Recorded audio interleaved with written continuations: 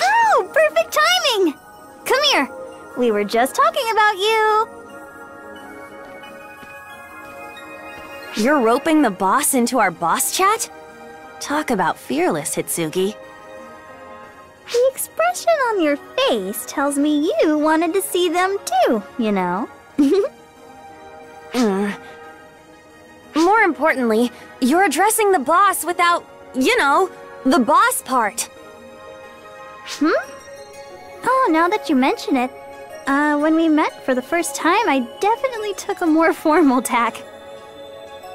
But then I loosened up. Probably after I shouted their name that one time. We've decided to drop formalities with each other, but I feel like you should still show the boss some respect. Didn't the boss save your life? You're right, Io. Okay then. I'll let the star of our little conversation decide. What do you mean? How about you get to decide how I address you? It's a little late for sir or ma'am at this point. Eh, kinda weak too.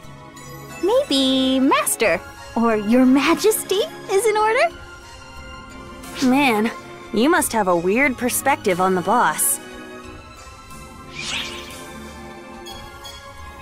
What? Like, boss? Sounds a little fanatical to me. N no, it's not. Boss is just the boss. It is kind of weird, though. Which, I guess, leaves. Sir, or ma'am.